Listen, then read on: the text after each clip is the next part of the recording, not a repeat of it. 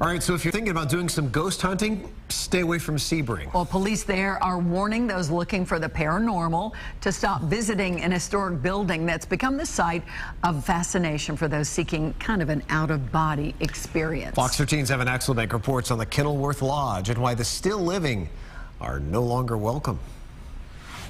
Commander Curtis Hart remembers the glory days. When it was open and functioning, it was a beautiful place. It was busy.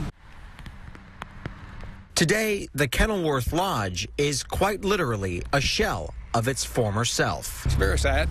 Uh, I hate to see it like that. On Sebring's Lakeview Drive, the three story structure is in disrepair. Built in 1916 by the man the city is named for, it was condemned in 2016 because of fire code violations. Guests were booted, never to return. A lot of people coming into town from this uh, from the south end of town, you know, see this as they're coming into town. But some apparently wonder if all the guests have left. YouTube and Instagram are littered with videos by people who have broken in in search of ghosts. Over the last two months, Sebring police have gotten seven calls from the property owners in hopes the otherwise normal will stop looking for the paranormal. In a legal sense, police say that's called trespassing. Commander Hart doesn't believe rumors a long dead hotel manager has stuck around. I don't know that, you know, it to be haunted. Um, never heard anything about it being haunted, so I don't know what the draw is there. I don't know if somebody's just um, putting that information out there on the internet and other people are following up on it. What is it about this 65,000 square foot hotel that makes people want to come connect to the paranormal?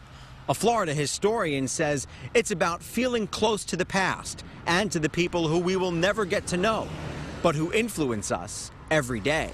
It's a different experience than, say, you know, sitting down and opening a book or reading a diary of somebody who lived at the time. If you can actually be in that spot where those people were and get a sense of something, I think that's kind of another level of connection. David Bulit runs the website Abandoned Florida. He doesn't necessarily believe in the paranormal, but has been in the Kenilworth Lodge at some point. It's one of 2,000 abandoned buildings he's explored. You got to have a connection to your community and to your city, especially when at Sebring, where it's much smaller than, say, Tampa or Miami. Commander Hart says there is a push to refurbish the Kenilworth to help the town reclaim its past. It'd be great to have an operating and functional, beautiful old building um, to highlight your, your city. No matter who is staying there or for how long. Evan Axelbank, Fox 13 News.